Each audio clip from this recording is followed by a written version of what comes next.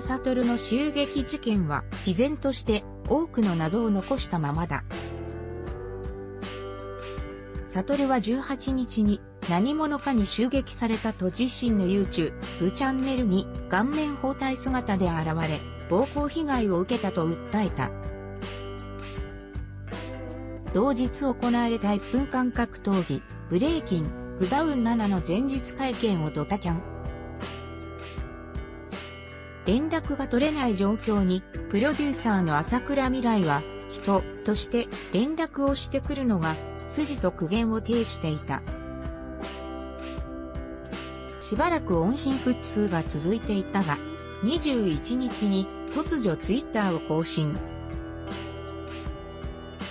謝罪より新しく出た EP の宣伝をさせろと19日にリリースしたアルバムゴールドロジャーを宣伝した上で謝罪。なら後で会見でも開いてたっぷりしてやるいいか？記者をたくさん呼べ引き続き日本全国から情報を集めると綴った。そんな中、サトルと一悶着があった炎上系インフルエンサーの煉獄コロアキが今回の件に口を開いた。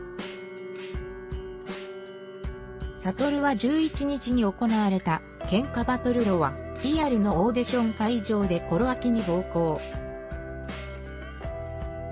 コロアキが警察に通報し、騒動となっていた。直後からサトルの言動に変化が見られ、今回の襲撃動画につながっただけに、ね。途上では、コロアキへの暴行トラブルが背景にあるのではないかという声も飛んでいた。これに、コロアキは、サトル。この件は許す。とツイート。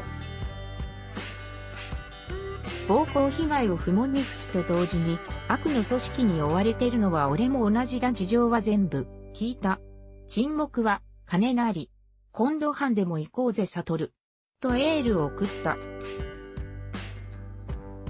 ツイートを見る限り、佐藤、RU 襲撃とは無関係のようだ。